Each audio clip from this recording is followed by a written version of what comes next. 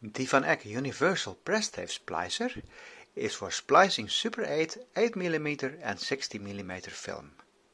It securely holds the film in position while you use a knife to cut the film and apply press tape to both sides of the film. The row of small holes is for Super 8 film, the other row with larger holes is for 8mm and 16mm film. The splicing plate comes with a knife and punch.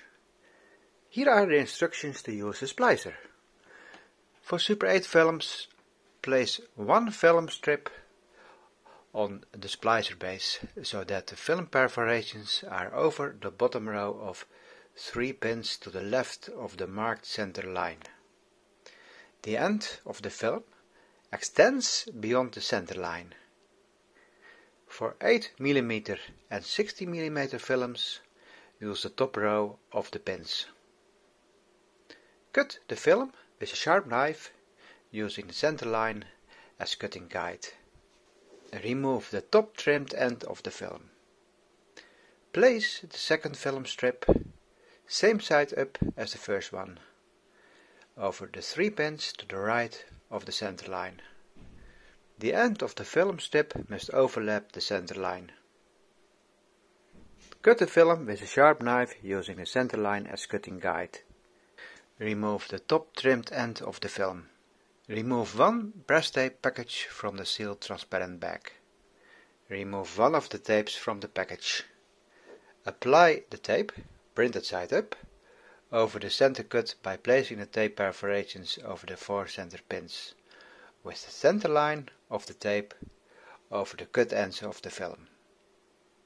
Holding the right side of the tape down, carefully pull off the left paper flap. Apply finger pressure to the tape to seal it to the film. Holding the left side of the film down, carefully pull off the right paper flap. Apply finger pressure to the tape to seal it to the film. Place the punch over the fixed pins to press the tape down. Remove the film from the pins and discard the bottom trimmed end. Turn the film over to apply tape to the other side. Place the film on the splicer with the perforations over the pins and repeat the previous steps. The cut line of the film must fit over the center line of the splicer.